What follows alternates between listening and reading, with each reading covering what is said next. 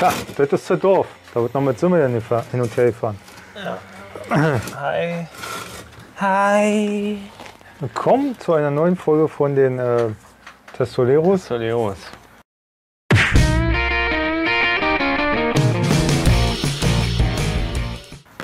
Richtig, Rico.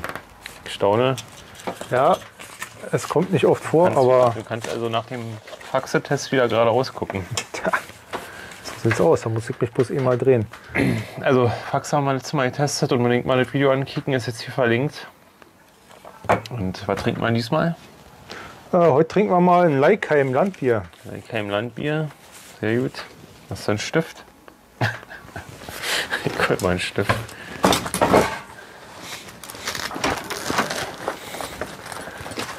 Nee. Ich habe alles außer einen Stift. Ja, ja.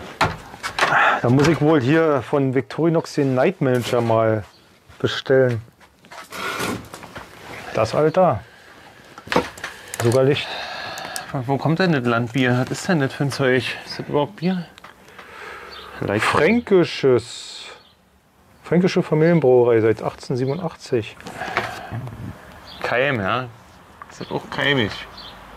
Wir haben hier ein 5,4-prozentiges Bier. Goldgelb, vollmundig und feinwürzig. Schauen wir mal. Prognose? Silber auf jeden Fall, also mindestens Silber. Fränkisches Landbier aus den besten Rohstoffen unserer Heimat, gebraut in Exportbierqualität. Also ich muss ganz ehrlich sagen, also mit Exportbier habe ich schlechte. Erfahrungen gemacht. Jetzt Bronze. Naja, das ist schon fast wieder Blech. nee, ich bleib dabei, mindestens Silber. Auspacken oder wegpacken? Warte mal, warte mal, ich bin noch nicht fertig. Ein echt feinwürziger, herzhafter Biergenuss. So feinwürzig schmeckt daheim. Brauhaus Leikheim, Gewerbegebiet 4, 96264, Alten Kuhnstadt, Deutschland, Germania. www.leikheim.de für weitere Infos. Das ist jetzt hier 41 unten unter dem Video verlinkt, ne? Ja, haben wir hier? Oh, nach bayerischen Reinheitsgebot gebraut. Angeber. Exportbier steht noch mal extra da. Ich weiß nicht, was das bedeuten soll, aber wir werden es ja äh, schmecken. Wasser, Gerstenmalz, Hopfen, damit ist die eine Sache schon mal geklärt. 41 Kilokalorien. Also das ist auch was zum Abnehmen. Wo hat denn Kilokalorien? Auf 100. Ja, Milliliter. Also mal 5. Naja, 200. Auspacken oder wegpacken? Auspacken. Hier, du machst das jetzt auf. Wie Auspacken. sieht, das, wie sieht die Flasche aus? Der grün. Ne? Ist schon mal schlecht. Ja, heutzutage ist äh, grün nicht äh, so grün, wie man sich das vorstellt. An sich finde ich das schön. Also es ist anspruchsvoll. Werd nicht grün, aber so sieht es gut aus. Die Oder? Flasche ist so ganz besonders. Da ist hier, also das sind eigene Flaschen, machen die anscheinend. Genau, richtig. Hier ist richtig so ein Wappen drauf. Hier steht nochmal hinten Leikheim. Man hat diesen wunderschönen, der mir sehr gefällt, Öffner. Hm, ja, Flaschenöffner? Stimmt. Ja, wieder verschließbar, sehr schön in der Sommerzeit, finde ich top. Ja. Also das heißt, keine Wespen etc. oder Insekten kommen da rein. Du kannst ohne Probleme schön verschließen, kannst wieder ohne Bedenken trinken. Finde ich super. Ich hatte das Problem mal gehabt. Ich hatte dann eine Wespe im Mund gehabt, äh, hab's Gott sei Dank rechtzeitig gemerkt und gleich Wenn du so ausgespuckt. bist. Ja, ich bin gierig, ja, na und? Ich würde drei Punkte geben. Oh, guck mal, hier ist sogar ein Wappen drauf. Ja, aber das Grüne ist jetzt einen Punkt Abzug. Tja, na gut. Augensucht oder Augenflucht? Optik, wie sieht das, wie sieht das Getränk aus? Gespritzt hat es. Gespritzt. So, Flasche oder Glas? Ich nehme die Flasche. Ich glaube, dass du das sagst. Glück, Glück, Glück, Glück. Wobei wir eigentlich beide aus beidem trinken müssten, weil wir haben ja festgestellt, das schmeckt schon anders. So.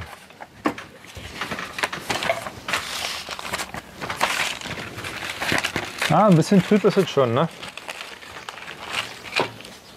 Der Schaum ist schön. Wirkt so naturtrüb. Ja, ne? Oder das ist bloß, weil es gerade so warm ist. Siehst du das? da? Ja, aber, aber aber es- trotzdem. Ah, ist ein bisschen trüb ist es schon. Leicht trüb. Ja. Also auf jeden Fall nicht volle Punktzahl.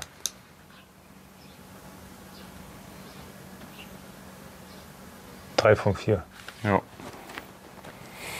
Gaumenliebe oder Gaumenhiebe? Tja. Wie schmeckt das Bier? Der gute Export hier? Mm.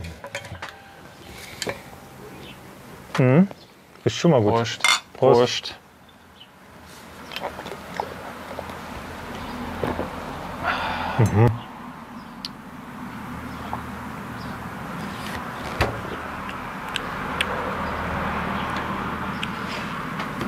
Was ist das denn? Schmeckt ja schon den Uhr. Ja, Ein wa? bisschen. Also das ist ja, also gut. Scheiße. Die Augen zu gemacht hätte ich Export. Ja. Das war schon die Warnung. Also wirklich. Was haben die sich denn dabei gedacht? Oh, Export, ja. Ich die zu gemacht, hätte ich wohl gesagt, hast du oder Export oder so was. Ja, ja. Also ein Glück ist er gut gekühlt. Ansonsten würde es nicht. Sauer. So einen komischen Geschmack mit drin. Also,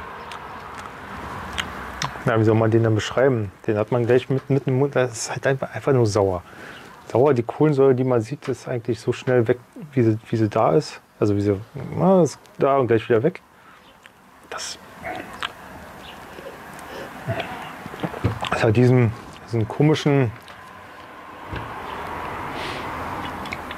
Ach, komm jetzt nicht drauf. Das ist der typische Exportgeschmack, aber ich finde es milder als so die Exportbiere, die man so kennt. Ja, aber mir schmeckt es nicht. Sieben Punkte, Das war schon gut gemeint. sechs Punkte. Special Points, Ah, der Verschluss halt, ne? ja, der Aufdruck hier vielleicht Ja. so ein Punkt oder was? Oder zwei. Na, zwei. ja. Ah, Familienbrauerei seit 1887. Naja, zwei. Welches Reinheitsgebot? Ist Haben wir schon geklärt? Ja. Ja. Uhr.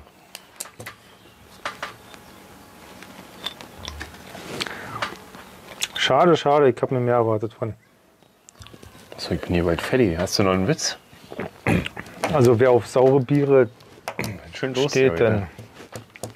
Naja, da gibt es ganz andere. Also so sauer, finde Boah, ich finde find das ich schon ja nicht so säuerlich. schlimm. So, ist ein bisschen längerer Witz. Joe Biden ist zu Besuch bei der Queen in England. Er fragt sie, Eure Majestät, ihr führt so ein erfolgreiches Land, könnt ihr mir nicht ein paar Tipps geben? Die Queen sagt, nun ja, das Wichtigste ist, sich mit intelligenten Menschen zu umgehen.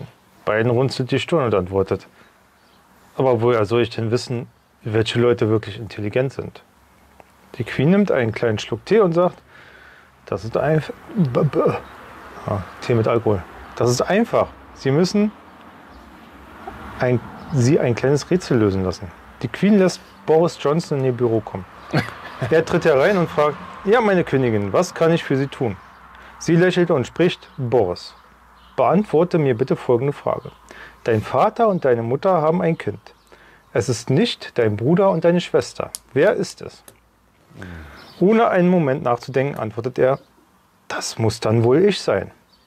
Die Queen lächelt und sagt, sehr gut, danke. Sehen Sie, Herr Biden, Boris Johnson kann das Rätsel lösen. Aber können das Ihre Leute auch? Zurück im Weißen Haus ist Biden ziemlich verwirrt. Er ruft den Vizepräsidenten Dick Cheney zu sich.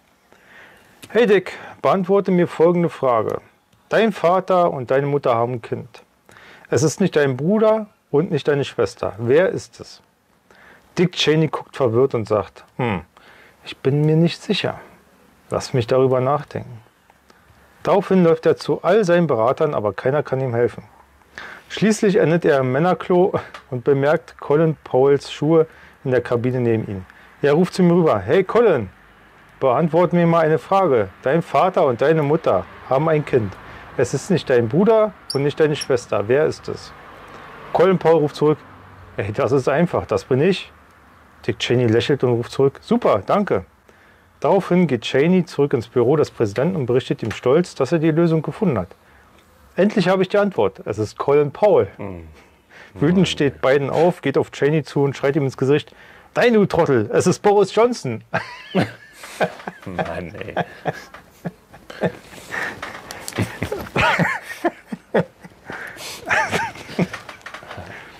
Oh Mann. So, äh. Äh, so.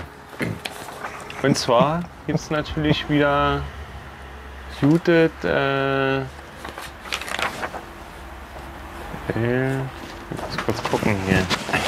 Gibt es natürlich wieder gute Bier-News von uns.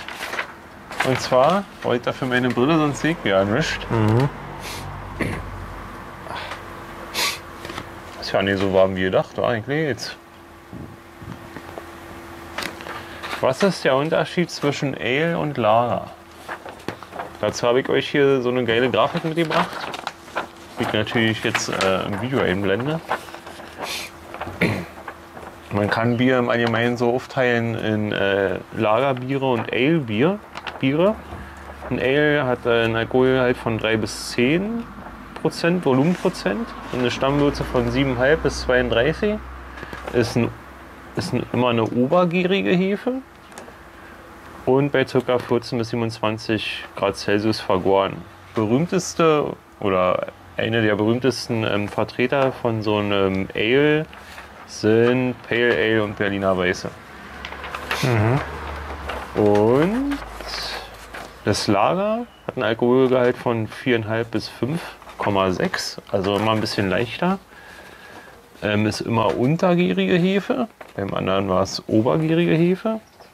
Und bei ca. 5 bis 9 Grad Celsius vergoren, also ein bisschen kälter. Ja. Ähm, berühmteste Vertreter sind Pilsener und Helles. Genau.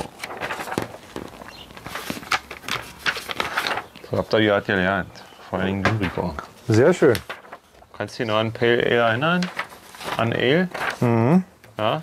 Ja. Rost- Judith, ach, Rostocker wollte ich schon sagen. Judith Störtebecker. Ja, ja. Stört die. War lecker. Ganz toll. So, du hast schon wieder ausgetrunken. Hast du einen Use? Äh, einen Use? Einen Use hast du einen Use ich muss dir ganz ehrlich sagen, der Uwe, der hat schon angeklopft beim ersten Schluck und äh, Wegkippfaktor?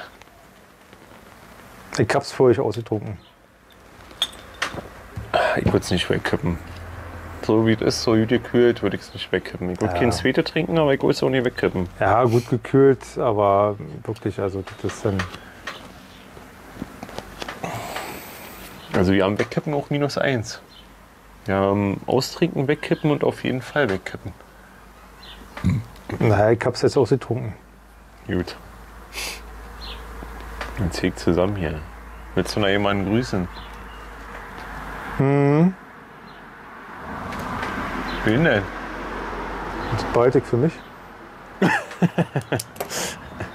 Gut. Wunderbar. Tja. Ich grüße meine Mutti.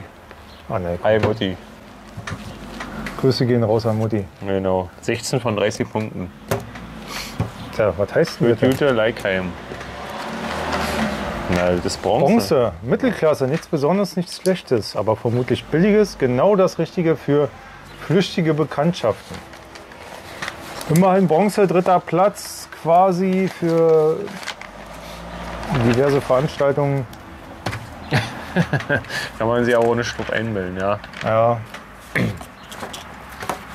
Aber die geben sich echt Mühe. Ich finde das eigentlich ganz gut. ich habe mehr erwartet. Gut, Geschmäcker Das sind halt, verschieden. ja, das ist halt nicht unser Geschmack und wir legen halt viel Wert auf Geschmack. Da gibt 15 Punkte, das ist die Hälfte. ja. Ja. Und wenn man da nur 6 kriegt, dann Dann ist da nicht mehr groß was ansonsten rauszuholen. muss ich sagen, das sieht gut aus von innen und auch von außen. Ja, Deutsche Reinheitsgebot ist da. bayerisch. Shit. Bayerische so, ja. ja. Also schon okay. Was gibt's als Ja. nächstes? Ja, was du denn als nächstes? Du ja, ja. Irgendwas Leckeres. Vielleicht ein Hellet? Ein Pilz? Wir haben jetzt hier einen World Beer Award Germany Winner haben wir hier. Alter, was ist ist am das? Start? Alten, Altenburger ist das, was? Ach, hör auf zu lügen. Ach, Altenburger, das habe ich schon an der Flasche gesehen. dann Ich hab's noch nie getrunken. Hat er natürlich sofort gewusst. Mildes klar. Lagerbier. Nächste äh, Sendung. Nächstes wird das Altenburger. Genau. Unbedingt wieder einschalten und abonnieren. Und dann seid ihr wieder dabei. Liken, teilen. Schreibt mal Kommentare. Nico Sauert schon. Natürlich, das ist Palko auch immer mein Lappen dabei. Ja, schreibt mal einen Kommentar. Wir antworten mal demnächst drauf. Gut. Im nächsten Video beantworten wir mal einen Kommentar. Haut rein. Bleibt fein.